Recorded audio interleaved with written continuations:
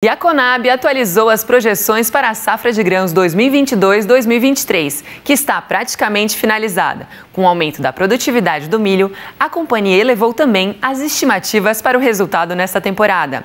A projeção é que a colheita brasileira chegue a 320 milhões de toneladas este ciclo, ou seja, um recorde maior que o previsto anteriormente. A estimativa da produção do milho segundo a safra passou de 98 milhões de toneladas em julho para 100 milhões e 200 mil toneladas. Com isso, a colheita total do milho foi calculada em 130 milhões de toneladas. A Conab também mudou a estimativa da colheita total de grãos, que passou para 320 milhões de toneladas. Este número representa um crescimento de 17,5% em relação ao ciclo 21-22.